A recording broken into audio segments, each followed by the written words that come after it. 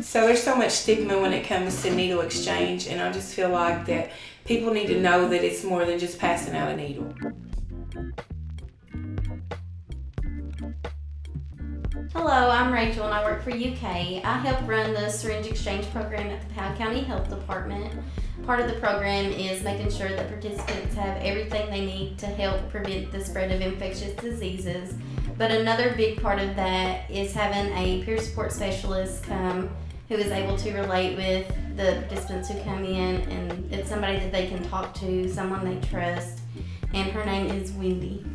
Hey guys, my name is Wendy Anderson. I work for Spark Ministries. I'm a peer support specialist and I come to Needle Exchange on Monday and Thursday just to to meet people exactly where they're at. I'm also in recovery and have walked it and am walking it today and know exactly where these participants are at and the things that they need to help them recover.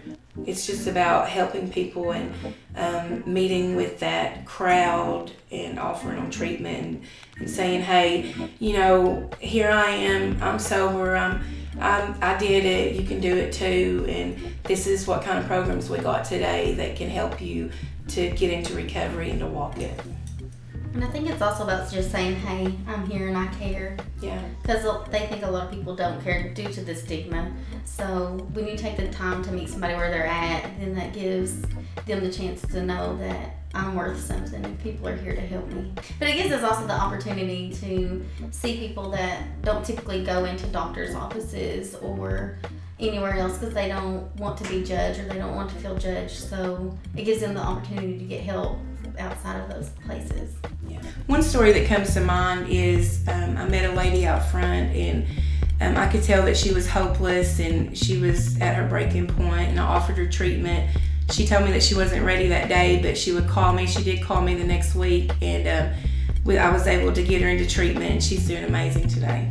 And we have stuff like that happen all the time, even if they're not ready to get the help or ask for something in the moment they know who they can call to get the help that they want when they're ready to take that step. I always give them my card and I say, you know, here's my card, call me.